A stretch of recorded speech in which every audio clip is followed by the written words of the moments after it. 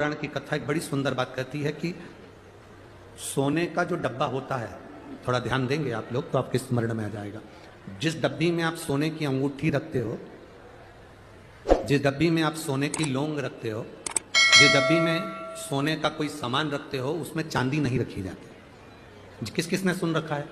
कभी सुना होगा आप लोगों के स्मरण में होगा कि सोने की जो डब्बी होती है, उसमें चांदी नहीं रखते। मतलब चांदी के साथ सोना नहीं रखा जाता।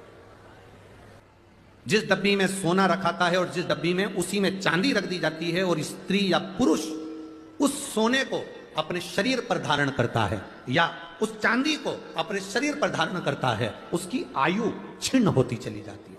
कई लोग कहते हैं, इनकी तो उम्र अच्छी थी, फिर ऐसा क्यों हुआ? ज़रूर, सोने की डब्बी में चांदी अगर रखी गई है तो उसमें उस चांदी की चीज़ को महिला ने अपने पैर में पहन लिया, बिछुड़ी पहन ली, अंगूठी चांदी की पहन ली, उसमें सोना